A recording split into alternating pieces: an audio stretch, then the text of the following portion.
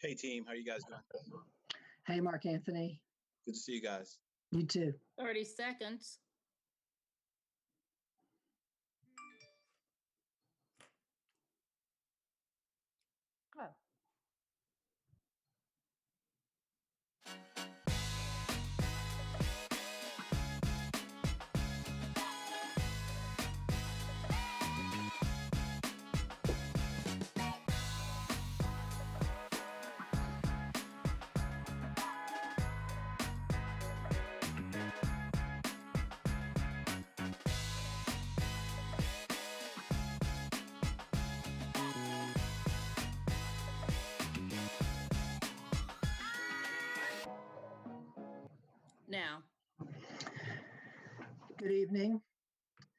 To call this meeting of the Durham City Council to order at 7 o'clock PM on June the 1st, 2020. And I certainly want to welcome everyone here tonight. I want to thank those people who are listening and watching how, whatever form that might be tonight from home or wherever you are, and welcome you to this meeting of the Durham City Council. I want to thank our staff and our tech staff, our public affairs staff, and others for making it possible for us to broadcast the meeting in this way. As we have our moment of silent meditation tonight, and I'll ask you to join me in that moment, that silent meditation in a moment. I ask us all to remember George Floyd, his family, his friends, all who loved him, and to keep them in our hearts. Please join me in a moment of silent meditation.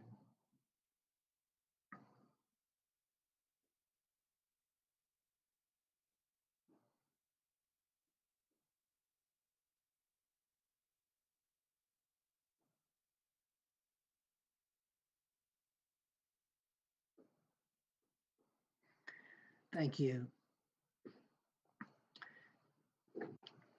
And now I'll ask Councilmember Reese if he'll lead us in the pledge to the flag. Thank you, Mr. Mayor. I think I've got myself unmuted now. And good evening, colleagues and members of the public who are listening at home. I will now recite the Pledge of Allegiance. I pledge allegiance to the flag of the United States of America and to the republic for which it stands, one nation under God, indivisible, with liberty and justice for all. Thank you very much, Council Member. Madam Clerk, will you please call the roll? Mayor Schewel, Here. Mayor Pro Tem Johnson, Here. Councilmember Caballero, Here. Councilmember Freeman. Councilmember Middleton. Councilmember Reese. Here, Thank I'm you. here. Thank Sorry, I'm you. Thank you. Thank you, Madam Clerk. And now we will go to announcements by members of the council. Madam Mayor Pro Tem, Thank you, Mr. Mayor. Um, I just wanted to say a few words tonight about the um, experience that we're having this last week in our country. Um, I want to first express my solidarity with the families, friends, and communities of George Floyd, Breonna Taylor, Ahmaud Arbery, and all of the victims of police and racist vigilante violence across the United States. I want to send my love to everyone who's been out in the streets over the last few days to honor their lives and to um, my fellow elected officials here in North Carolina and around the country who've joined their constituents in the streets, including um, three members of our city council. As we've tried to mitigate the impacts of the COVID 19 pandemic and the economic crisis that it's caused, the many other social ills that we face as a country have continued unabated, including the epidemic of white supremacy that began with the colonization and founding of our country and continues today. As a mother of two Black boys, my family and I face the consequences of this epidemic every day. A few months ago, I sent my 13 year old son to a neighbor's home to give them a misdelivered package, and I waited on my front porch the whole time, anxiously um, waiting to see if he was going to make it home okay. I regularly see posts from neighbors on listservs reporting the presence of Black people in their neighborhoods as if we don't have the right to exist on the street. As a child in the 1980s, my mother warned my younger brother not to play with toy guns so the police wouldn't think he had a real gun and shoot him. Decades later, the only thing that's really changed is that the ubiquity of phone cameras and live streaming technology has brought the reality of this experience to a new and broader audience. Over the last few days, police forces across the country have recklessly and needlessly escalated conflicts with demonstrators in Minneapolis, New York, Atlanta, Charlotte, Raleigh, and other cities, and even shot and killed David McAtee, an unarmed Black resident in Louisville, Kentucky. Police have responded to nonviolent demonstrations with chemical and projectile weapons. They've attacked journalists, causing serious injuries that have been documented on video and film, and have ironically caused these abuses to be reported on accurately, which is extremely rare. Even more disturbingly, right wing paramilitaries and provocateurs have traveled to many cities, including cities right here in North Carolina, in order to start conflicts with police and manipulate this outpouring of resistance to police violence to satisfy their own political goals. Many have pointed out the obvious difference in the way that police forces across the country have responded to this current wave of protests, in contrast to the recent wave of armed right wing defiance of stay at home orders that were almost entirely left alone by law enforcement, even when they shut down the entire state legislature in Michigan. Here in Durham, we're fortunate to have both elected and police leadership that value de escalation and non confrontational approaches to demonstrations. I want to appreciate the work of our police chief, CJ Davis, and her staff in avoiding needless conflicts with demonstrators over the last few days. I also want to appreciate the work of the many community leaders and, organs, and organizers and organizations who have spent much of the last decade doing the hard work of pushing a police reform agenda to this point. Without their work, we wouldn't have the leadership that we have today in the city. And as many of us remember the response to the protest of Jesus Huerta's death just over six years ago, we know how different things used to be. We're in a much better place today with our new police chief and with different leadership in our city. But I also want to caution us against feeling superior to other cities or the or acting like policing issues don't exist here too. Our city still spends a significant and growing amount of money on policing. We still have a significant racial disparity in, in traffic stops. We have use of force policies that don't follow best practices. We're preempted by the state from implementing transparent body camera policies. We don't have functional civilian oversight or review board with any real authority to enforce changes in practices. Again, that's an issue where we're preempted by the state of North Carolina. We've made a lot of progress here in Durham, but we still have a long way to go to get where we need to be. So there's important work to do here in Durham, as there is around the country, to continue to move toward a safer and healthier community for all of us. Just before the COVID pandemic hit, we passed bylaws for a community safety and wellness task force and invited Durham County and the Durham School Board to join us in implementing this new board. Understandably, COVID has delayed much of our work, but I'll be following up with our colleagues on the County Commission and School Board to make sure that this work can begin as soon as possible. I continue to support calls from community members to invest public money in community safety outside of policing, as well as education, healthcare, housing, recreation, economic inclusion, and building a stronger and more inclusive democracy. I continue to be troubled by the amount of money that we spend on policing that I know could be spent on more effective community based interventions to promote safety and wellness in Durham. But we have to build those systems, we have to create those interventions. Um, and I've been a strong advocate for, for changing these spending priorities in the past, and I'll continue to advocate for different priorities in the future. The only way out is through. We won't solve these problems until we address systemic racism in all of our institutions, but especially in our criminal legal system. Until we do, Black people will continue to suffer disproportionately from a system that values property, wealth, business, and the maintenance of the status quo over Black lives. This is a rough time for a lot of us. And so I also just wanted to take a moment to remind everyone to take care of yourself and take care of each other. I've been doing movement work for 20 years and I'm regularly in the streets with people who've been doing this work for 50 years or more. And I believe them when they say it's a marathon, not a sprint. Take some time for yourself and have some energy left to fight tomorrow and the next day and the next day for the better world that we all deserve. Thank you, Mr. Mayor. Thank you so much, Madam Mayor Pro Tem. Who else would like to uh, speak during announcements? Councilmember Middleton. Thank you, Mr. Mayor. Good evening, colleagues, and good evening to all uh, who are watching. Um, I want to thank my um, colleague, Mayor, uh, Madam Mayor Pro Tem uh, Johnson, for for saying some critically important things. I think we need to hear in Durham and around our nation this evening. I, um, Mr. Mayor, you've gavelled us into session this evening while chaos is is going on in our country uh, tonight. Um, much of what's going on uh, this evening and has been going on for the past week, Mr. Mayor, I believe is actually just unsettled business uh, that America has had on its ledger uh, since before its birth, since before its inception. Uh, those matters are still rearing their head uh, even today. Um, so I want to I want to firstly uh, just commend you and thank you, Mr. Mayor, on the leadership you provided uh, for a number of mayors who signed a wonderful statement that I think captured the heart of our city. It's no wasn't surprised to me at all that the mayor of Durham uh, would be at the forefront uh, of that effort. I was extremely proud, uh, particularly given the, dearth of leadership we have coming uh, from the highest levels of our government. Sometimes we at the local level, it feels like we're on our own as mayors and council people and, and others. So I want to thank you for your leadership. I also want to commend, um, likewise, uh, uh, Chief Davis and their department on, on what I thought was a great job that they did this past weekend uh, in maintaining a profile that was very low. Um, they actually assisted a movement rather than hindered it, uh, non-confrontational, non uh, uh, um, intimidating type presence as we're seeing other departments exhibit around the country. Um, I do want to echo um, Mayor Pro Tem's admonishment not to get too cocky or, or to get too comfortable because we had uh, pretty much um, event-free uh, demonstration this weekend. There are rumors that that folk aren't too happy with the some folk aren't too happy with the way things went uh, this past weekend, and they plan on trying to to assert themselves in our city.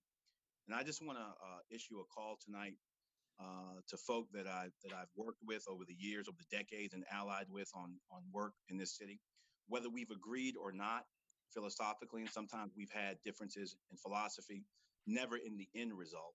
Uh, but I think philosophically, I, I want to call on those that have done the work and who are uh, um, lovers of this city. If you're going to be in the streets tonight, uh, to keep our eyes open for those who don't really love us, who don't care about the Floyd family, who don't share our tears, but they're here to co opt and preempt us. This is Durham. We know the difference between a Confederate monument and a mom and pop store where we get milk and vegetables for our babies.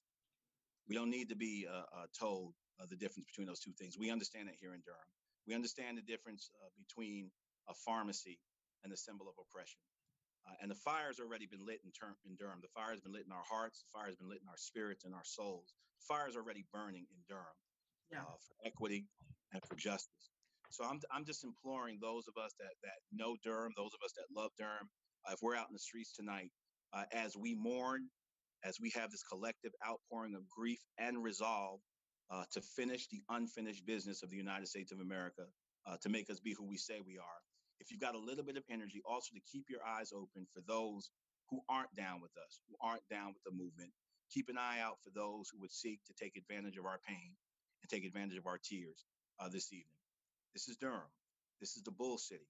So we know Bull, and we don't need anybody bringing any more Bull into the Bull City. So I'm calling on friends and allies tonight to keep your eyes open as we hit the streets. We continue to express solidarity with, with the name, all the names that the Mayor Pro Tem has called, Ahmaud Arbery, Breonna Taylor, and George Floyd, and to those countless names we will never know about because no cameras were present. We will finish the work uh, of making us who we say we are as a country, and I think Durham is going to be ground zero for it. May God bless the Floyd family. God bless his memory. God bless Durham. Black Lives Matter. Thank you, Mr. Mayor. Thank you very much, council member. Would anyone else like to speak? Is there anyone else that would like to speak during announcements? I would, Mr. Mayor. Councilmember Freeman. Thank you. I, I don't want to um, repeat what's been said, and I really appreciate all that's been said from uh, Mayor Pro Tem and Councilmember Middleton. I do want to um, uplift just how hard um, it is to kind of come face to face with this, um, as I, I think someone gave me the term, uninvited mental health trauma, and being able to um, be, a, be amongst so many people in this city. I'm just so I'm overwhelmed with the pride of how we've handled um, our own grief and our own hurt and our healing that's needed right now. I um, I'm so grateful to uh, to the work that's been done over the years, um, and I'll probably remain um, off the video because it's been I'm just not fit for public consumption. And I've been trying my best to not do this because I always do. And loss of life, any life, is hard. And loss at the hands of an officer who is supposed to protect and serve is, is it's the hardest to swallow, especially, oh my gosh. And I don't want to keep keep um, going down this road, but I do want to say that it's important. It is really important, and I'm speaking specifically to Black people in this city, that you do take time and you acknowledge the hurt, the harm, and the pain that you're feeling. Um, there are no words. I can feel it in my bones. I can feel it all throughout my body. The trauma I'm carrying is it's just in my DNA. And it is the reason I do what I do, how I do it. And I want to be mindful of the fact that, that these issues around race and racism are with us and we have to address them. We have to be willing to have those hard conversations and we have to be willing to do more than that and moving towards the actions. I know that today on a call with uh, the National Urban League and NAACP and other civil rights leaders, five years ago, a commission was pulled together federally to address this so that none of our states would have to go through this same type of angst and whether or not officers would be charged. And we're still at the same place of ground zero nationally. I'm grateful to the work that our officers are doing here in Durham. I'm grateful to Chief Davis. And I, I, I really want to just reiterate just how far we have to go. Um, and that none of us are exempt from doing this work, but uh, I really appreciate all that everyone is is pulling, uh, putting forward and trying to move us forward in this. And um, just want to thank you. Councilmember, thank you so much. And I think we all understand anybody's need to be off camera some tonight under these circumstances. Councilmember Reese. Thank you, Mr. Mayor. Um, I'm, as always, just amazed at my colleagues and uh, the way that they can talk about these issues in the way that marries the deep uh, personal connection they have to this work with the very deep policy knowledge that each of them brings. And I just want to thank the Mayor Pro Tem, uh, Councilmember Middleton, and Councilmember Freeman for expressing what we're all feeling tonight. Uh, Mr. Mayor, our country is in crisis tonight. Um, around the country, we have seen uh, really an epidemic of police violence that has uh, that we only know the slightest bit of because some folks happened to video record it. Um, that's certainly the case uh, in the killing of George Floyd. Um, Breonna Taylor is another victim of police violence. Uh, Ahmaud Arbery was a victim of vigilante violence. Uh, but these these incidents have really shocked the conscience of our nation yet again, and have drawn our attention yet again uh, to the epidemic of police violence that continues to plague uh, these United States. And this is an epidemic that, of course, is the natural outgrowth of America's original sins of racism and white supremacy. Really, our original and still ongoing sins um, that insidiously uh, seek to value Black lives less than white ones.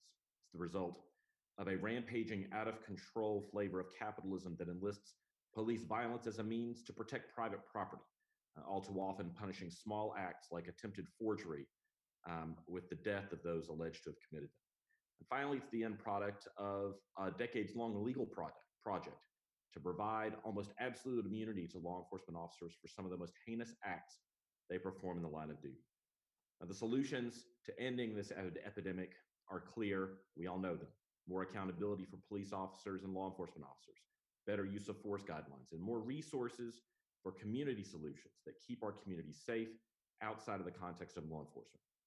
And I'm proud to say that this city council has been on the forefront of that work, and we must redouble our efforts in the weeks and months to come. The people of this city demand it, they need it, and they have to have it. Mr. Mayor, this weekend here in Durham, we saw a day long protest in downtown Durham that did not feature some of the kinds of police provocation and overreaction that we saw in other cities, both here in North Carolina and around the country. Uh, that response uh, to protest was a testament, um, on the one hand, to the leadership of Durham's fantastic police chief, CJ Davis, um, but perhaps just as importantly, to the hard work of hundreds of persistent and passionate community leaders uh, over a course of generations that made that kind of police leadership and the leadership that we've seen on this city council possible. Uh, and tonight, uh, Mr. Mayor, uh, as Councilmember Middleton alluded to, protesters are back in the streets of Durham asking simply that America stop killing Black folks and that our government at all levels take concrete action to make that promise a reality for every resident. Black Lives Matter, Mr. Mayor, as you know as well as I do. And if we want to live up to what that promise truly represents, we must have turn to that work now. I look forward to reaching out on those issues in the days and weeks to come. Uh, thank you, Mr. Mayor. Thank you so much, council member. Council Member Caballero.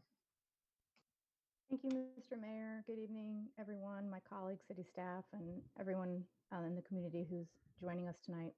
Uh, Thank you to all my colleagues for their remarks. Uh, I think we're all struggling right now. Um, When we rang in 2020, in what seems like a lifetime ago, I know we never thought that two pandemics would collide in the manner that they have this year. One of our pandemics is, is new, coronavirus. It's taken the life of over 100,000 US Americans and many thousands across the globe. Coronavirus virus leaves us in a place of uncertainty. What our future brings is unclear in many ways, but it's a virus, something unpredictable, biological, and its design right now is beyond our control. The second pandemic I want to talk about is structural racism. This pandemic is not beyond our control, is not biological, and it is not unpredictable.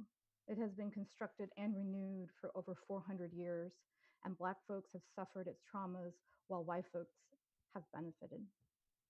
One of the latest and most public examples of racism in our country was George Floyd's murder, right on the heel of Breonna Taylor and Ahmaud Arbery, all lynched by police or white supremacists. Many of us have taken to the streets in protest and grief, and we have seen the response in cities across this country due to the militarization of the police.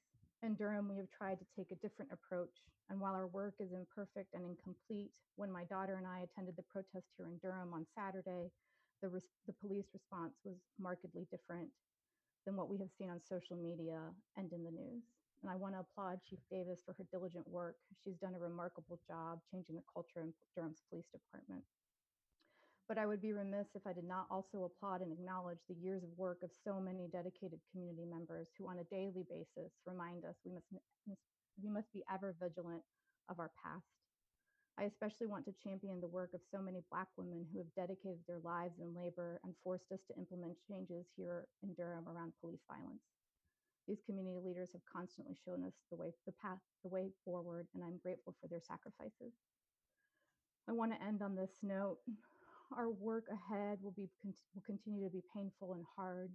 I will be listening to and taking the lead from Black folks. I will continue to do work on my own racism as I know how deep and rampant anti Blackness is rooted within the Latinx community. I will continue to teach my children to be anti racists. And I hope all of us will say the words Black Lives Matter over and over again, like a prayer, like a mantra, until those words are no longer necessary because of the promise of justice and equity, because the promise of justice and equity has been delivered. Thank you. Thank you so much, council member. Colleagues, those were fantastic, fantastic words, and I'm so grateful to each of you for those powerful expressions. I will, uh, I don't have anything to add, except I do want to read the statement uh, that Councilmember Middleton alluded to. On Saturday midday, I realized that one of the ways to try to fill the vacuum in leadership in this country about the murder of George Floyd was to have local leadership talk about the murder of George Floyd, what it meant, and how we she respond. So I drafted this, sent it to a couple of other mayors, thought I might get a few mayors to sign on. Um, and it took on a life of its own. Um, we now have more than 80 mayors in North Carolina cities and towns who have signed on, and more are coming all the time. So I want to read the statement. It's very brief. North Carolina Mayor's statement on the murder of George Floyd.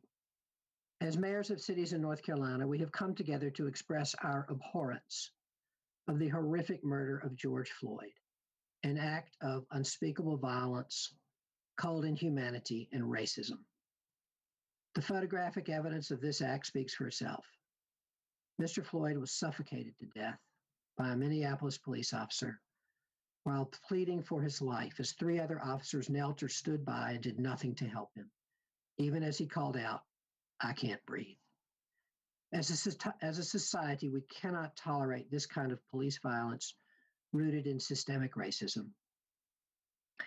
As mayors, we work closely with the pub, police leadership in our cities, and we know that they also will not tolerate this kind of police violence and racism within their forces. Such acts not only harm innocent people, but they also deeply erode trust in our police forces, despite the good work of so many officers every day. Officers who themselves abhor the racism and violence so evident in the death of George Floyd. Our hearts go out to Mr. Floyd and his family. We support Mayor Jacob Frey of Minneapolis in his call for justice and accountability. We expect a full and fair trial of the police officers involved. We also support the rights of those who are peacefully protesting and honoring the memory of George Floyd and countless others that have been victims of systemic racism and police violence. Let's work together to ensure that protests remain peaceful and stay focused on building equitable and just cities for all in North Carolina. And we pledge to make every effort within our power to fight systemic racism within our police forces, cities, and this nation. And signed by mayors from Murphy to Manteo. Uh, and we will, uh, uh, this has just been released on social media with more of these signatures, and as more come in, we'll continue to do that. So, again, thank you all so much for your words. They were very, very powerful, and we need to continue to do this work. The words are important, and we know that to we need to do the work that goes along with it. So, thank you so much, colleagues. We'll now move on to priority items, and we'll begin with the city manager. Thank you, Mr. Mayor, members of City Council, good evening. Uh, Mr. Mayor, I want to reiterate uh, so many of the words that you all have so eloquently said. I think at this time, political leadership, local political political leadership is what is going to get us through uh, this uh, terribly tragic place we find ourselves in today. And I want to thank you and all of the members of council for your willingness to speak out, but also trust CJ Davis, the chief of police. Uh, chief Davis and I are continuing to work very closely together as we've addressed the challenge, but I don't want to take an ounce of the credit. Uh, she deserves uh, the credit uh, that has been put her way as she has over the last several years truly transformed many aspects of the Durham Police Department. Are we perfect? No. Uh, we, we have a ways to go, but we're we are along along the way of a path that I think is going to lead to a much better uh, uh, relationship and much better outcomes, particularly at times of crisis like this. So, I think this is a time for local political leadership, political statements, not administrative statements. So I don't I, I don't want to spend too much time on that. Also, want to mention this evening. Uh, as some of you know, I had a procedure today that uh, actually is limiting me to get a suit coat on this evening. Uh, so instead, I looked for a short sleeve black shirt that I thought would be appropriate to uh, to wear uh, in acknowledgement of the the the the darkness that is facing us right now, but also one that I'm hopeful uh, that we will, uh, for, particularly in Durham, uh, find our way out of. So thank you. Just have some very minor items this evening where on four of the agenda items, we've added additional information that uh, council had requested at the work session, but those are my only priority items. And thank you again for your support and in particular your support of Chief Davis. Thank you very much, Mr. Manager. Madam Attorney, Good evening, Mr. Mayor, Madam Mayor Pro Tem, members of City Council. Um, before I tell you I don't have any priority items, I want to say thank you so much for your words. Um, it is incredibly edifying and encouraging to work for a governing council that has such political courage and such strong conviction about justice and equality in this country. I can tell you that um, my staff and I spend a lot of time kind of expressing our appreciation amongst one another and our pride in in our city, um, both in the courageous leaders that are in the community, but also the courageous leaders that are on this council. So thank you so much for allowing us to serve. If there's anything the city attorney's office can do to help facilitate um, the work that you all are doing on this front, please don't hesitate to ask us. We are we're ready to go, and we have no priority items. Thank you. Thank you so much, Madam Attorney. Madam Clerk? Good evening, Mr. Mayor, City Council. Um, I just wanted to thank you also for your words of um, courage and and uh, equity and to trust everyone in Durham to do the right thing. And I do have a priority item. It is um, for public comments to be heard and accepted after the public hearings tonight. There is an email box that's been created and the email is publichearing.comment at durhamnc.gov. The P and the H in public hearing are capitalized, and then there's a dot, and then comment is capitalized with a C. And if anyone would like to make comments after the meeting tonight for the next 72 hours, we will be accepting your comments. Uh, So that's all I have, Mr. Mayor. Madam Clerk, would you repeat the, the email again? Certainly, it's public hearing dot comment at durhamnc.gov. The P and the H in public hearing are capitalized. Then there's the dot and then the capital C in comment. So we will be accepting comments after the meeting tonight for 72 hours. Thank, you. thank you very much, Madam Clerk. We'll now move to the consent agenda. The consent agenda is made up of items that the council has been working on previously. The, the consent agenda can be approved by a single vote of the council unless an item is pulled by a council member or member of the public, in which case the item will be heard at the end of the meeting. Consent agenda item one, approval of city council minutes. Item two, participatory budgeting PB grant agreement with El Futuro Incorporated. Item three, interlocal agreement with Durham County for the sharing of sales tax revenue. Item four, amend the FY nineteen twenty budget internal service fund spending plan and other grant and capital project ordinances and amendments. Item five, loan commitment to Development Ventures, Inc. for Commerce Street Seniors Apartments. Item six, loan commitment to Durham Housing Authority, Durham Development Ventures, Inc. for Elizabeth Street Apartments. Item seven, contract amendment number one for the installation of federally funded U.S. Department of Housing and Urban Development HUD signalized pedestrian improvements. Item eight, Austin Avenue Sidewalk Project. Item nine, interlocal agreement for mobile ticketing. Item 10, mobile ticketing system. Item 11, transit fare capping policy. Item 13, insurance plan FY21. Item 14, bid report, April 2020. Uh, Item 15, cooperative group purchase contract, seven Sutphen heavy-duty, fully customized pumpers for the Durham Fire Department.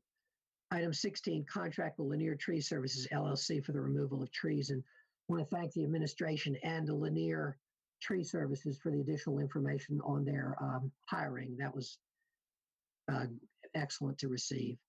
Item 17, U.S. Department of Housing and Urban Development HUD 2020 Partnership Initiative Grant. General, uh, and those are the consent agenda items. And I'll take a motion now for the approval of the consent agenda. Move approval.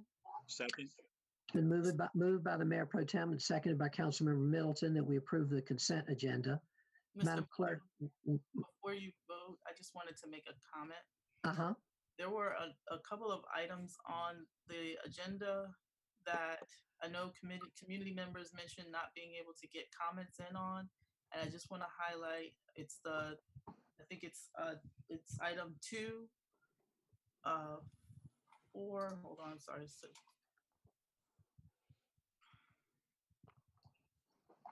It was items two, 27, and I I know there was a stormwater fee and the water fees and the participatory budgeting.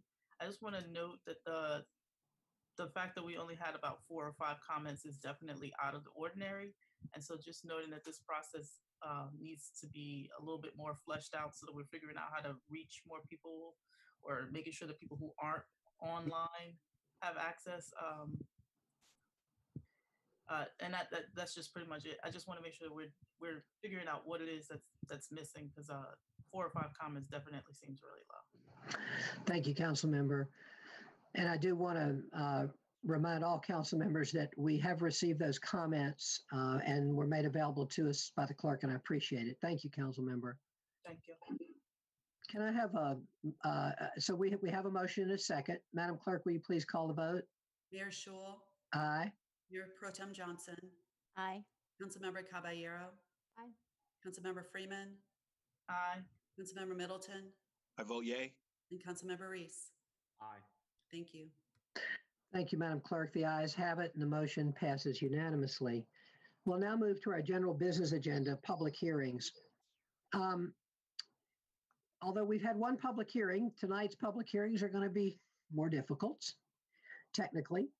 And I want to uh, really thank the clerk and our technical staff for working so hard on this. And I think I've been remiss in previous meetings also in not thanking the clerk and the clerk staff. They have been such a huge part of making the technology go here. And uh, so, Madam Clerk, please, um, please accept our appreciation.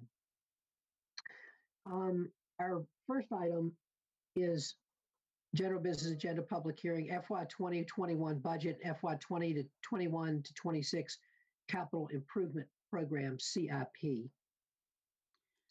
And uh, we'll now hear from, I believe, um, well, I see, I see Bertha Johnson, Ms. Johnson. Good evening, Mayor and members of council. Bertha Johnson, Director of Budget and Management Services. This is a an event um, for us to have an opportunity to receive comments from the public on the fiscal year 2021 budget and capital improvement plan.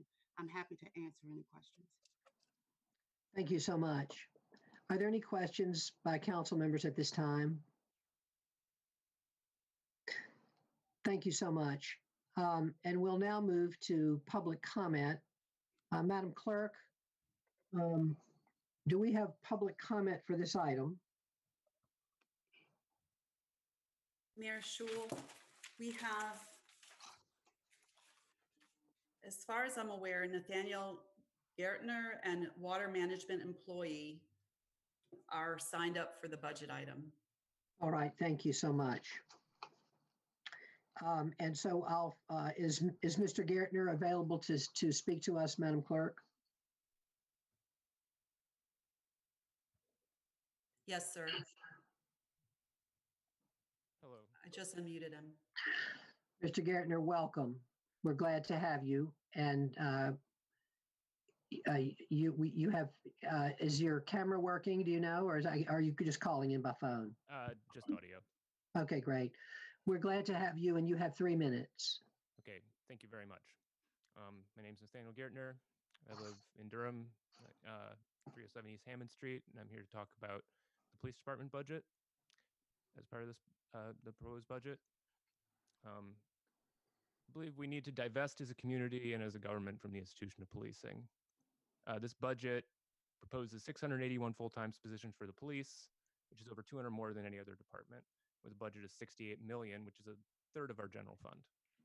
And I have to ask what we're getting for this cost. I can't tell you a single incident in my neighborhood that required the response of armed people trained in lethal force. I can tell you that every day in my neighborhood, I can see people who need housing and food and medical care, and for someone in official capacity to reach out with these services. Each Wednesday, I see cars lined up around the block for a local for church food pantry. And we fund the police at such a level rather than expanding public services is a poverty of our imagination of what government can be. If we cannot conceive of a city without substantial policing, is it because policing has become our default response to community issues? Our police force feels stretched thin. It is because we ask the police to do too much, reaching far into realms where someone with different training could do it better and more efficiently. And I'm sensitive to the fact that 681 jobs is a lot of jobs, but these are not the jobs we need people doing right now. There are better ways to put people to work to build our community rather than simply exerting control. Beyond the issue of this opportunity cost, there's the question of utility. When it is commonly accepted that to threaten to call the police on a black person is a threat and a death sentence, how can any of us in good conscience consider this a service that we can use? How can this service provide its purported goal of safety to the over 100,000 black citizens of this city? And how can I support a service that works for me but endangers my neighbor?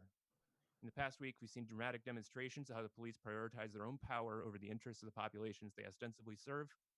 And of course, we can pat ourselves in the back for relatively peaceful protests here in Durham. One doesn't have to go that far back in history to find incidents of abuse and undue violence committed by our police force. Individual and cultural changes are admirable but fragile and cannot be depended on when structural issues remain. We know that the police as an institution is built on violence. We know it promises safety for some and condemnation to an impoverished and abused criminal class for others. And we hear about police reform, but we have evidence that training programs did not work to lower incidents of police violence or racial bias. We have evidence that body cameras are ineffective at creating accountability, and we can take away weapons, but no weapon was needed to murder George Floyd.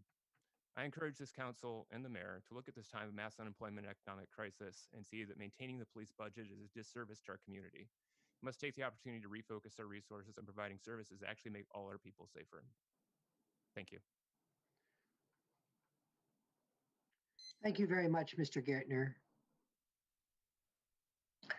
Um, we now have uh, someone who's ad- identified only as water management employee. Uh, is that person available to the phone?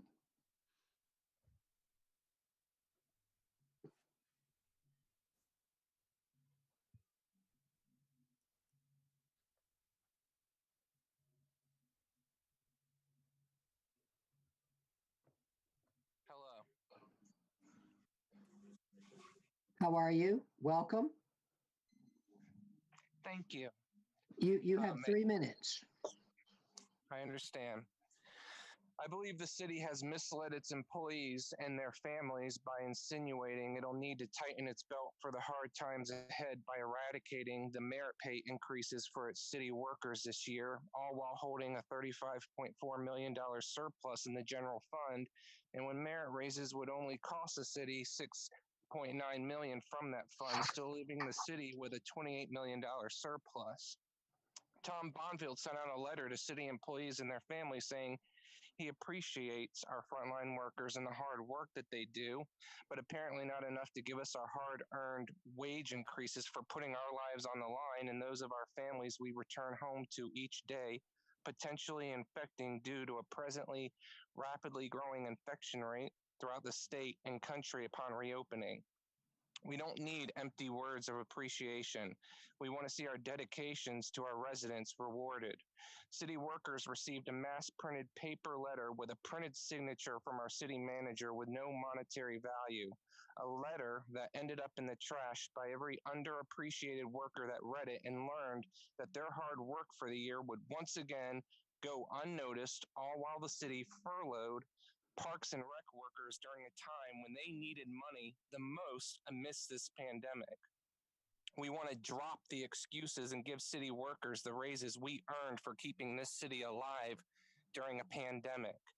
We see that six more police officers were approved in February, seven more are being asked to be approved now, while you ignore the people that keep sewage out of your homes and clean water supplied to your faucets, trash out of your homes, and from piling up on your properties and your streets swept and cleaned from debris. You say thank you to us while turning your back to us. Thank you. Thank you very much. Madam Clerk, do we have any other speakers on this item? Mayor, that's all I can tell that we have. We have multiple attendees, but I can't tell what they're here to speak about. I've received one, uh, one, uh, chat from one of the, um, attendees and they're going to leave an email. Uh, they're going to be writing us an email. And Okay. don't- don't want to speak. So I believe that's all. Okay, should I ask them if they want to speak to the budget? Uh, I see now that uh, Danielle Purifoy wants to speak to the budget and says she had signed up.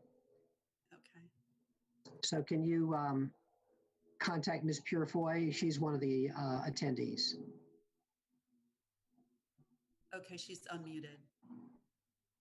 Ms. Purifoy, are you with us? Here. Can you hear me? Yes, we can. Welcome, and you have three minutes. Thank you. Um, my name is Danielle Purifoy, and I'm here as a representative of Durham Beyond Policing, a coalition of Durham based organizers who believe we can build a public safety system rooted in public resources and community accountability, not punishment and surveillance.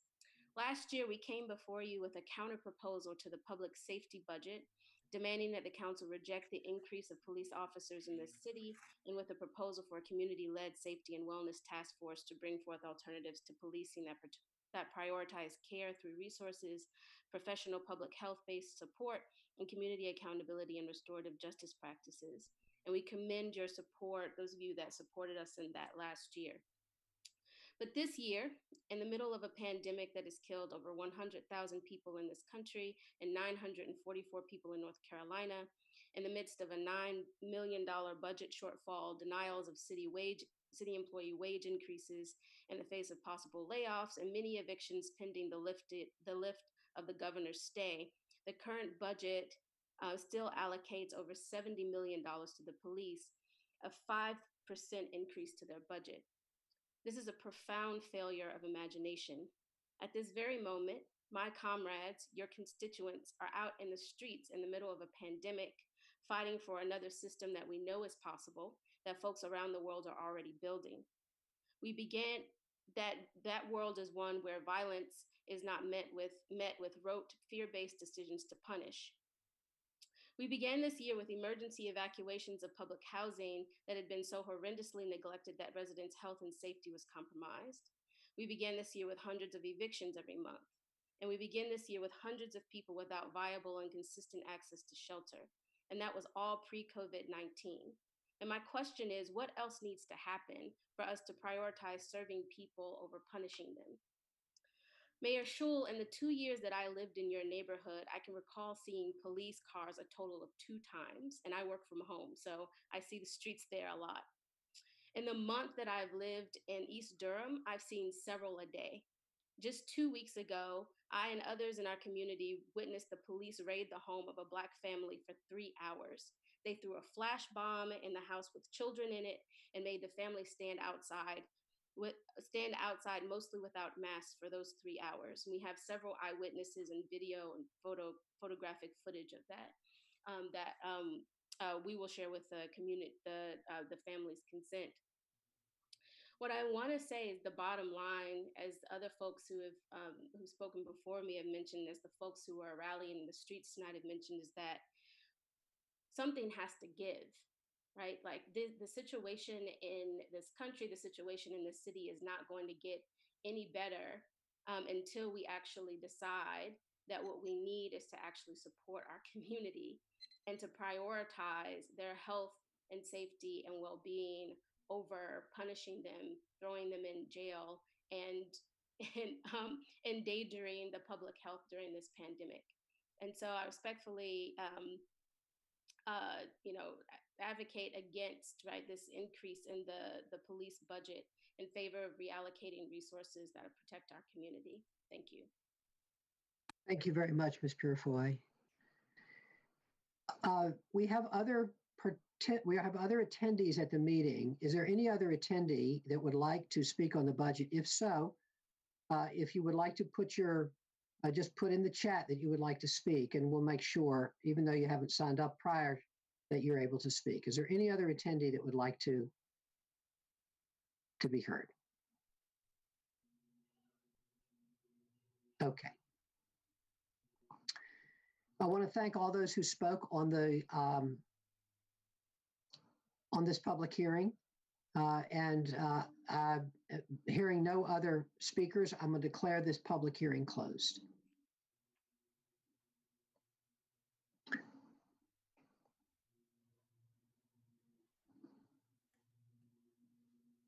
Thank you very much, Ms. Johnson.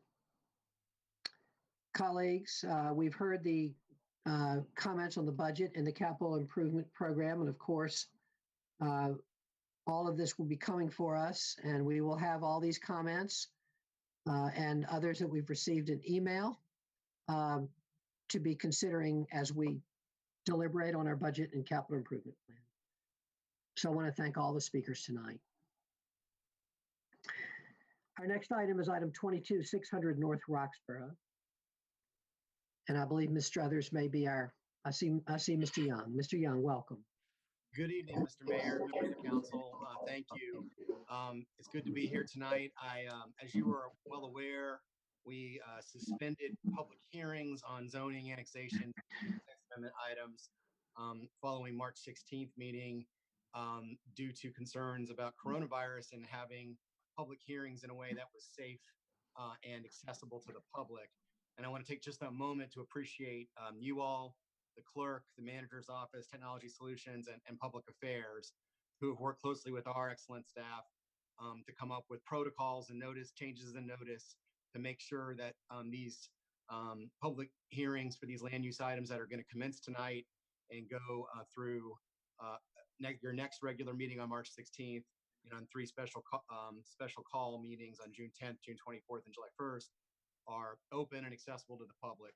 Um, so as you're aware that the clerk is received, um, or, or I don't know if she's, I don't know if she's received any, but she's had um, the availability of folks to make comments, written comments in advance, and she will provide you any notices she receives in that regard. We also have provided notice for folks um, to, uh, with, with the notice that went out with this item and all subsequent items, the opportunity to uh, register, pre-register to speak at tonight's meeting. And I know there are some folks that have pre-registered to speak and then an opportunity for folks to call in uh, live at this meeting. Um, so we, we do believe that um, all, um, so I can certify for the record that uh, required notice was provided. There are affidavits to that effect on file with the planning department.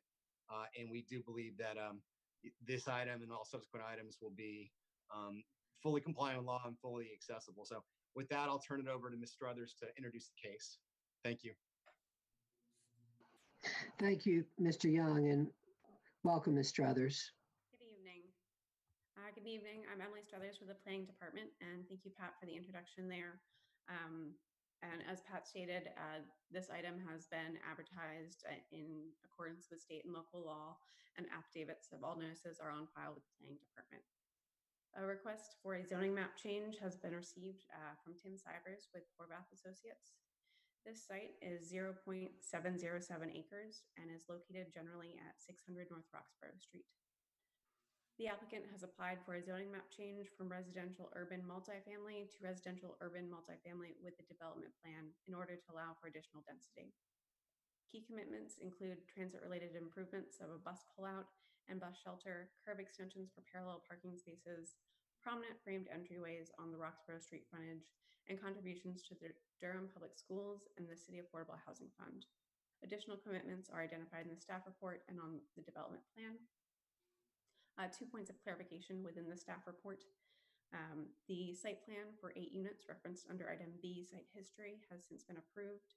And since the initial writing of the staff report uh, and photos taken, the building has been demolished. The Durham Planning Commission at their November 12th, 2019 meeting recommended approval by a vote of nine to four for the proposed residential urban multifamily with a development plan zoning. Staff determines that this request is consistent with the comprehensive plan, including the future land use map and other adopted ordinances and plans. Two motions are required for this application. The first is to adopt a consistency statement, and the second is for the zoning ordinance. And staff, as always, is available for any questions. Thank you. Thank you very much, Ms. Struthers. It's nice to see you again. We've missed you, even if it's only Thank virtual. You as well. Um, and I'm now, you've heard the report from staff. I'm now going to declare this public hearing open. And first, I'm going to ask if there are any questions for Ms. Struthers by members of the council. Mr. Mayor, I have Councilmember Reece, and then uh, Councilmember Mills. Thank you, sir. Sorry, I had to find my mute button. Thank you, Mr. Mayor. Uh, Good evening, Mr. Struthers. It is great to see our planning staff again. We have missed you. Our Monday meetings have been uh, bereft of public hearings, and your absence was duly noted. I'm glad to get us back to business. Know it'll be a short night for y'all, and we'll have a bunch of long afternoons and evenings coming up.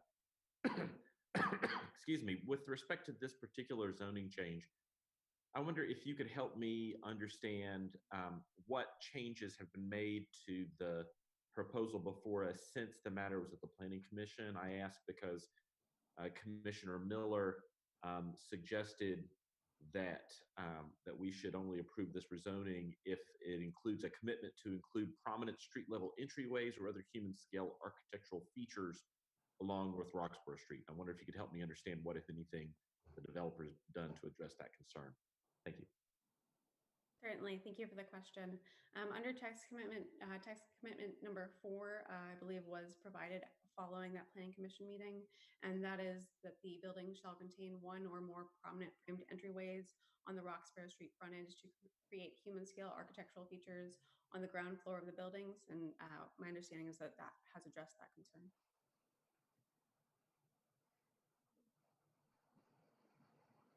Thank you. That's all I have, Mr. Mayor. Thank you, Councilmember Reece. Councilmember Middleton. Thank you, Mr. Mayor. Uh, Mr. Struthers, good evening. Good to see you uh, as well.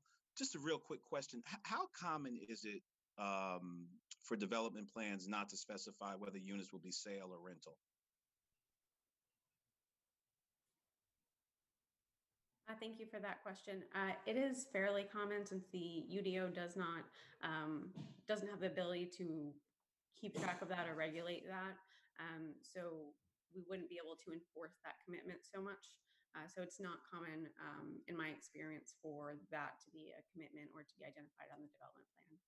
Right. I'm, I'm- my question is an enforcement or, or, or I, I'm, I'm just curious as to, does that ha- does that happen often where we get development plans where they don't specify? I don't remember seeing many where I didn't know whether or not they were going to be for sale or for rent. Just from my own experience, I was just wondering how common that was. I haven't seen any myself that specify that. Um, This one does not either. My understanding is that they uh, intend to seek condos, but again, it- it's not specified specifically in the development plan. Gotcha. Yeah, Okay. Thank council you. member, oh, I'm sorry, Councilmember Middleton, if I might Go ahead. weigh in, um, Pat Young with Planning Department.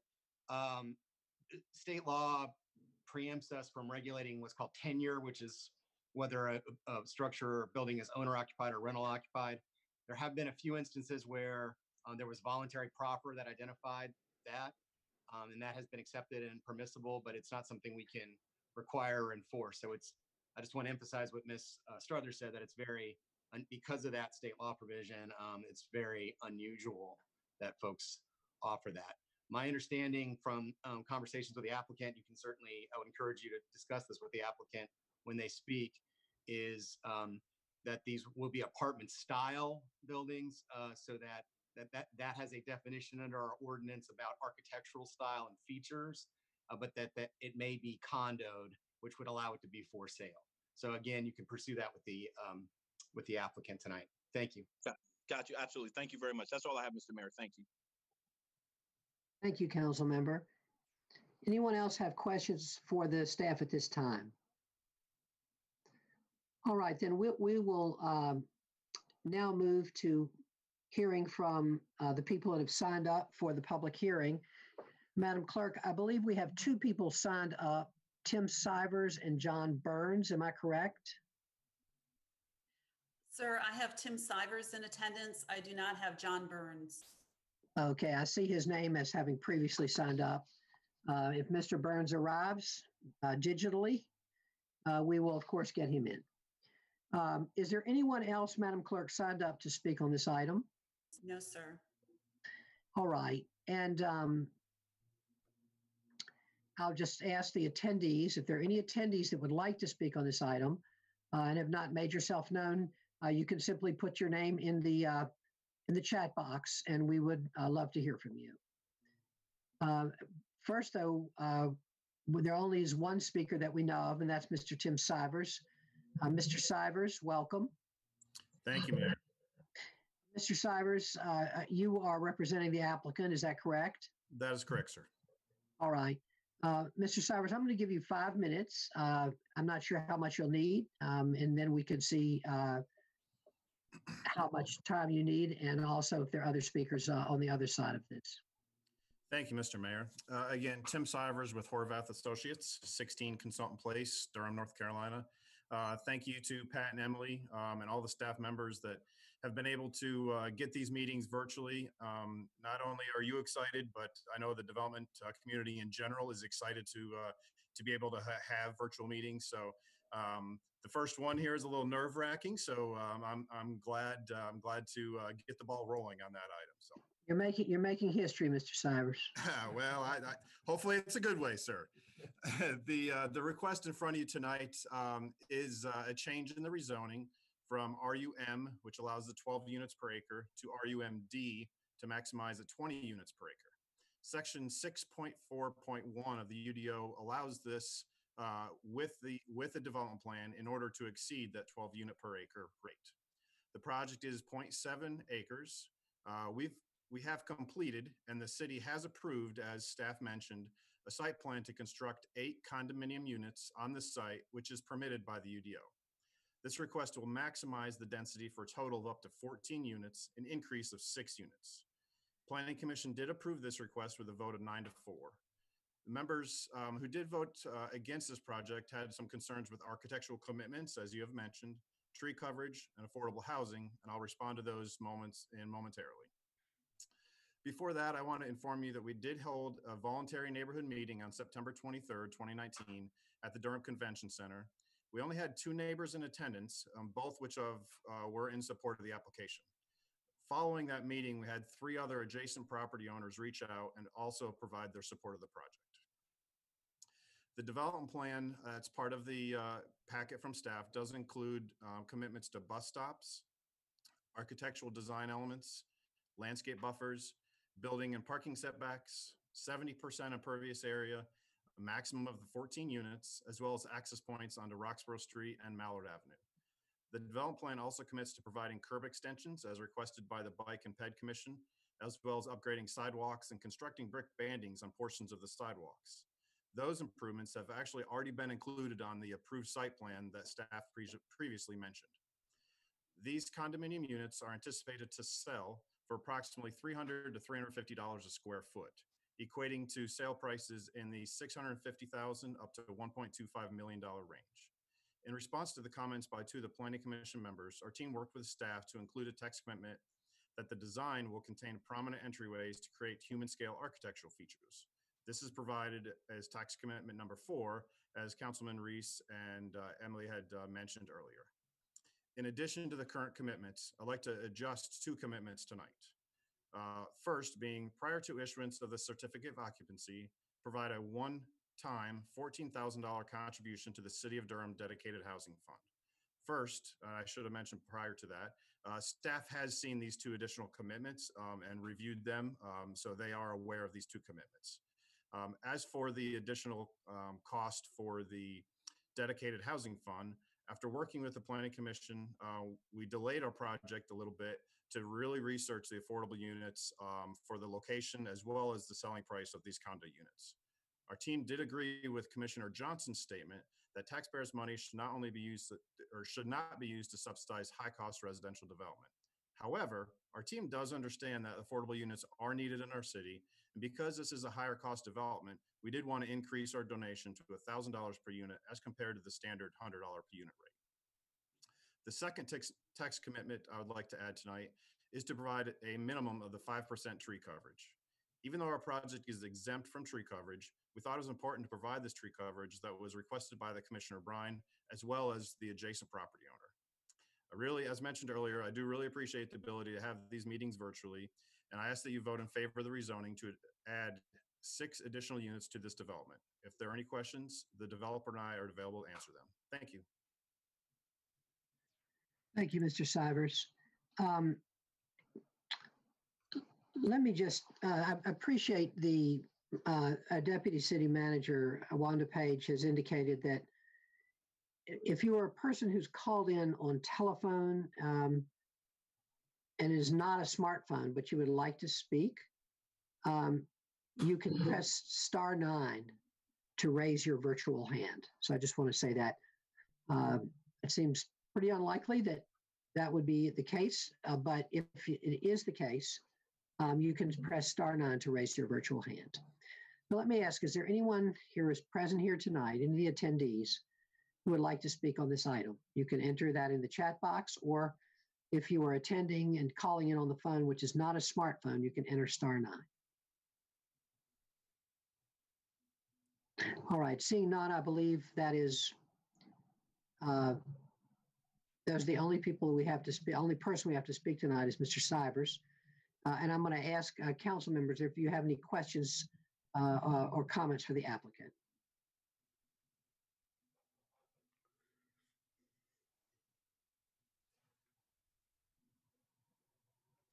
I'm sorry, I see none. Uh, So seeing none, I'm going to close this public hearing. And the matter is now before the council. Uh, We would need two motions to approve this item. The first would be a consistency statement. Is there a motion that we approve the consistency statement? Move to approve the consistency state- statement.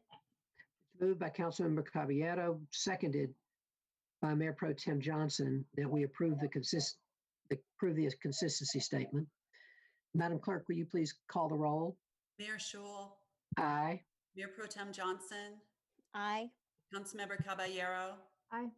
Councilmember Freeman, Aye. Councilmember Middleton, Aye. Councilmember Reece. Aye. Thank you. Thank you. The ayes have it and the motion carries unanimously. Thank you, Mr. Sivers. Thank you very much, Mayor. And, and I want to appreciate uh, the fact that $1,000 per unit is um, now the standard. Mr. Mayor, there's a second item for approval on that. Oh, you sure is. Thank you, Mr. Manager, for that reminder. I think that my, I'll just say, colleagues, I think that my, my ability to miss these items or part of them is even increased in the digital age. And so I appreciate the manager's help and all of you all for helping me uh, keep our parliamentary procedure proceeding. So we have another motion necessary to adopt an ordinance amending the UDO. Is there a motion? So moved. Second. Moved by Mayor Pro Tem, seconded by Councilmember Caballero. Council, uh, uh, Ma- Madam Clerk, please call the roll. Mayor Schewel, Aye. Mayor Pro Tem Johnson, Aye. Councilmember Caballero, Aye. Councilmember Freeman, Aye. Councilmember Middleton, Aye. Councilmember Reece. Aye. Thank you. Thank you, Madam Clerk. Uh, We'll now move to item 27, FY 2021 stormwater rates. Uh, We will be receiving a presentation on this, conducting a public hearing, and then, I, and then adopting the ordinance to change the fee schedule. So first, um, we'll hear, I believe, from Mr. Weeks. Mayor Schewel, Mayor Pro Tem Johnson, and Council, Paul Wiebke Public Works. Um, This item proposes to raise stormwater rates for fiscal year FY 2021 effective July 1, 2020. Uh, The presentation you're referring to was received at the work session.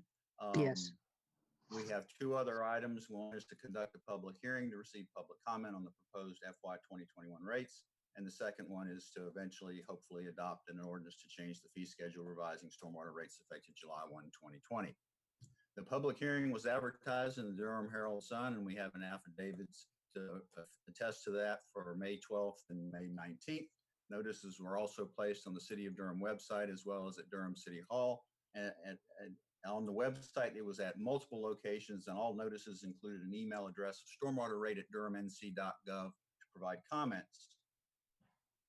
Comments received to date will be read by staff at at when you desire. Comments will be accepted. Uh, Legis, the legislature required us to go at least through June 2nd to receive comments. And if your desire is to go longer than that, that is certainly, as the clerk indicated, they were accepting comments longer than that, just two hours, I. Um, This item does propose to raise stormwater rates. Um, The rates for tier one would increase by 24 cents per month. For tier two would be 50 cents per month and tier three would be $1 per month. The non-residential rate would increase by 50 cents per ERU, which is 2,400 square feet per impervious surface. The annual impact for rate repairs would be, for tier one would be slightly less than $3 per year. Uh, For tier two would be $6 per year and tier three residential would be $12 per year. And the effect for commercial property would be add an additional $6 per ERU or 2,400 square feet of impervious cover. The stormwater fund is a utility in that it, the primary source of revenue is from stormwater fees. Um, Rates for all tiers are middle of the pack that are proposed when compared with our benchmark cities as reflected in the presentation at the work session. The pro- proposed increase supports capital funding for stormwater retrofits that comply with our Falls, Lakes Stage One reduction goals, as well as to begin to address our pollutant load reduction requirements for Third Fork and Northeast Creeks. Um, With that, that concludes my summary. We have worked with the uh, Finance Department, to develop these rates through the stormwater rate model and identifying the projects up through FY 2019. Uh, With that, um, I'm here to support you and with this uh, public hearing. Thank you, Mr. Wiebke. Very, very, very much appreciate it.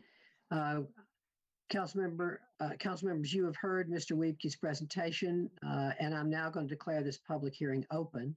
And first, ask, are there any questions for Mr. Wiebke by members of the council? All right, thank you. And uh, we, we did have a good chance to discuss this at our work session. Um, Mr. Wiebke, you said that you had received, we, we did, uh, as Councilmember Freeman mentioned, we already received one uh, item, uh, comment by email previously. Did you also receive comment, Mr. Wiebke, that we had not received that you would like to put in the record? I received uh, a comment from um, Jennifer Buzzin. Um, And I can read Okay. that now if you like, or, Sure. Yes, that would be fine. all right. Uh, From Jennifer Buzzin to Durham City Council. As a resident of Durham, an environmental engineer and a former employee of the Stormwater and GIS Division of the Public Works Department, I urge City Council to support the proposed FY 2021 stormwater rates. The rate increase is due mainly to efforts needed to comply with the Falls Lake Stage 1 existing development requirements and to begin to address total maximum daily loads, TMDL's reduction requirements. I support the rate increase for the following reasons. The requirements to address to be addressed by the rate increase and its associated water quality improvement measures have been in effect for a while. The city of Durham must make more progress toward addressing them as the problems the requirements target have not been sufficiently alleviated. Falls Lake Stage 1 existing development requirements became effective in January 2011. The Third Fork Creek sediment TMDL was approved by EPA in 20 2005. The Northeast Creek bacteria TMDL was approved by EPA in 2003. The City of Durham's National Pollution Discharge Elimination System, or NPDS permit, mandates that we take steps to address these requirements. The city's compliance with our permit will be audited in the future, and we do not want to come up short. The city's stormwater program has a strong reputation among North Carolina regulatory officials. Because this reputation often gains us a seat at the table when new studies and regulations are being discussed, it is our, it is to our advantage maintain that reputation. The water quality improvement measures which necessitate the rate increase will ensure that the city stays on the leading edge of the municipal stormwater field. Thank you for consideration of these comments. Jennifer Buzzin, PE, 3206 Cortland Drive, Durham, North Carolina. Thank you very much, Mr. Wiebke. Is there anyone else who is an attendee on this call that would like to speak on this item? If so, please, uh, you could put, simply put your name in the chat if so. And we'll just wait a minute for that.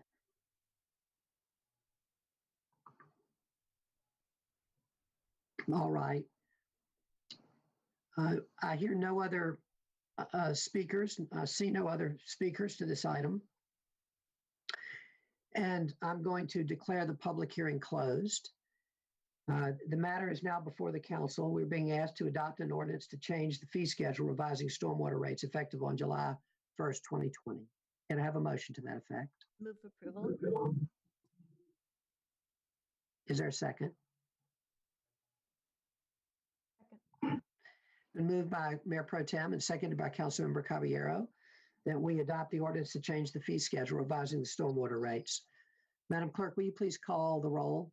Mayor Schewel, Aye. Mayor Pro Tem Johnson, Aye. Councilmember Caballero. Aye. Councilmember Freeman, Nay.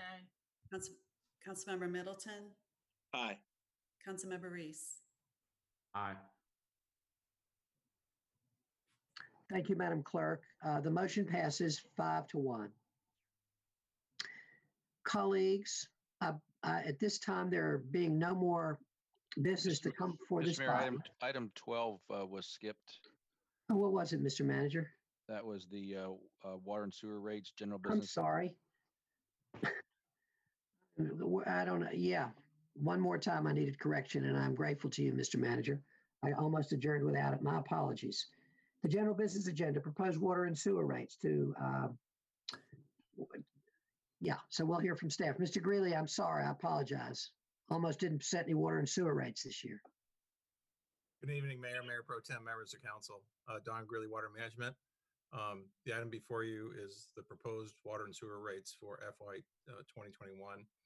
Um, Per our discussion at uh, the city county work session, um, staff went and um, did some further analysis and explanations, which we've attached with in in additional information memo, um, which I hope you've had a chance to review.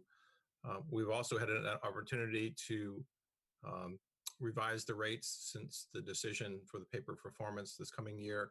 um, That uh, equated to a reduction of 1.2 million um, dollars in the proposed budget. Um, We were able to then bring the proposed rates for a typical tier three customer from uh, 2.9% down to 2.1%. Um, The other, que- other major question that came out of council was the discussion about the positions that were proposed um, for the upcoming year. Um, The department still considers them mission critical. Um, The total value of, of those positions is 755,000, of which 120,000 are the four vehicles. Um, The, if those positions were not uh, approved to go forward, then the rate would be able to be reduced from 2.1 to 1.7 percent. Um, The difference for a tier one customer between a 1.7 percent rate increase and a 2.1 percent rate increase for a tier one customer um, per month is three cents. And with that, I'd like to uh, uh, for, uh, open the floor for any questions by city council. Thank you very much, Mr. Greeley. Um, This is not a public hearing item, so uh, colleagues, uh, I'll ask if there are any questions for Mr. Greeley or any comments.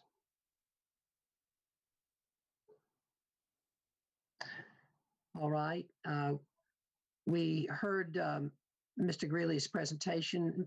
Uh, Councilmember Freeman, did you have some comments or questions? Just a comment, just acknowledging that in this time, I'm a little concerned about raising the rates.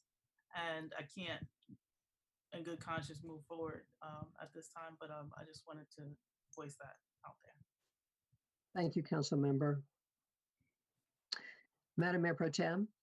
Thank you, Mr. Mayor. Yeah, I'm a little confused about the order of these decisions. Like we're are, we're setting the rates before we approve the budget to authorize the additional positions.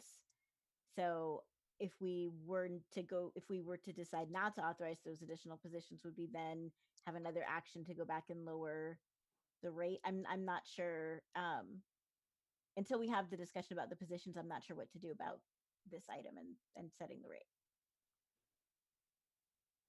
You're you're muted.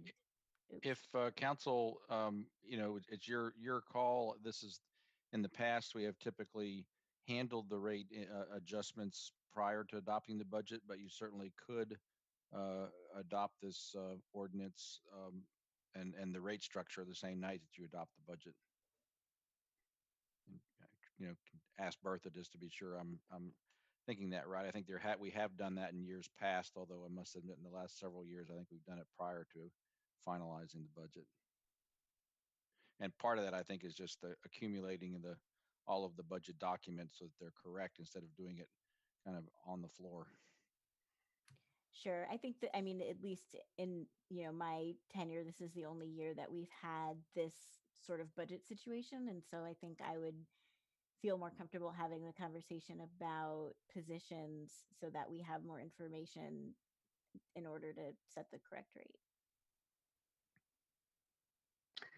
Um, Colleagues, any more comments on that? Um,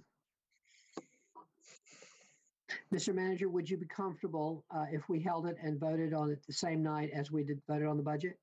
Well, Mr. Mayor, so the only, the, the, the challenge will be the ability to calculate a new rate on the, on the floor. I see what you're saying. Yeah, It, it is, uh, it would, it would really be next to impossible. I mean, you could certainly adopt the, the rate structure the way you have it and then not approve the positions. And then those monies would just be, you know, held, held with, uh, in, in some re- other reserve capacity for future years adjustments. But it would be very difficult to, uh, you know, depending on, on which positions you would approve or not to just, you know, I see. calculate, calculate that. Just, you know, I don't want to say on the fly, but on the floor. sure, understood, understood. Uh, I see Councilmember Middleton's hand. Thank you, uh, Mr. Mayor. And then I, I, I, I did I beat Char? Okay, uh, you recognize me. Thank you, Mr. Mayor. I saw Charlie's hand as well. I, um, I was the one who asked a question about the mission, the uh, mission critical question, and and I appreciate um, the response, uh, Don. It seems to me uh, the answer was parsed along. Um, it seems to me an answer about improved customer service and regulatory issues. And I guess in my mind, the rubric that I was operating under um, at our last meeting was uh, efficiency and value added are critical are extremely important, but I I don't know that I would put those under mission critical in this context. Now the regulatory issues, which I think there are three positions attached to us meeting our regulatory standards. Is that correct? That there are three positions that will address regulatory issues? Uh, yes, and that, that they equate roughly two hundred and forty-one thousand of the seven hundred and fifty-five thousand. Right.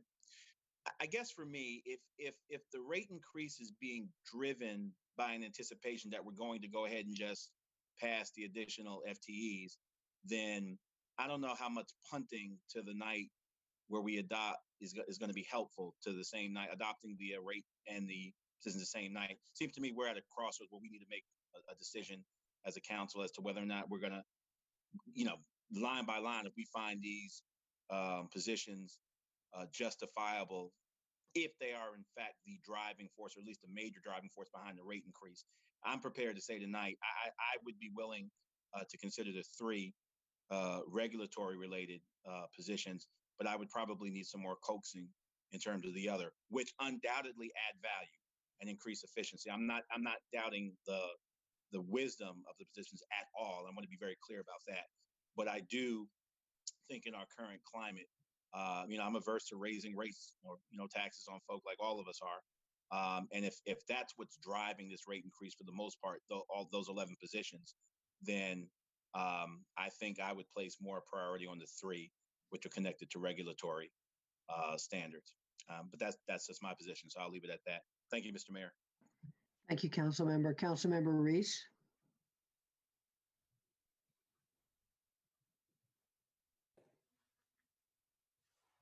Sometimes it's hard to find that mute button when it's your turn. Um,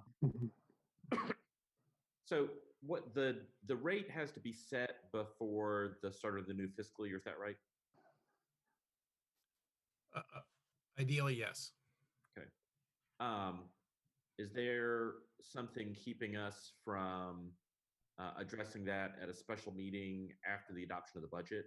I mean, we're going to adopt the budget somewhere in the neighborhood of, I think, two weeks before the end of the fiscal year. Um, after we make a decision about the positions, there should be sufficient time to calculate the new rate. Um, I don't know how long it would take, a week, whatever it takes, um, and then come back to us for a special session just to just to pass the uh, the storm the water and sewer rates. Um, typically, when we pass the rates, they um, are in effect July 1 with the first billing to occur in August. So it'd be a question of um, if we still want to push the, um, have the same kind of month in advance notice of when we actually adopt the rates. Um, that affects how much revenue we do get and could actually drive the rates up a little bit if we try to recover them all in one year. We already have uh, special meetings scheduled uh, for other purposes. Uh, Mr. Manager, uh, No, That's would what it I be was, I possible? was gonna mention that, Mr. Mayor, as Okay. well, that I think we've got two or three special meetings following the adoption of the, uh, the budget. And, and both of those are prior to July 1st, at least of two them, of them. one I of them believe. is July first, actually, which would still be all right. All right. Well, let me just then ask you, Mr. Manager, you can hear uh, the council's uh, uh, interest in the situation with these positions. I don't think we have a consensus yet. I know we don't have a consensus yet, but there's more discussion wanted.